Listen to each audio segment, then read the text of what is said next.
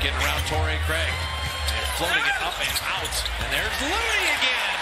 He's just a beast on the boards. Now Bitadze's hurt. Oh, no. He was holding his head as he went to the deck. And it, that did not look good. Took a hard fall. They already are down Myles Turner and Goga Bitadze. You don't think basketball is a contact sport? Watch his head his neck get bent awkwardly. That cannot feel good. Back of one.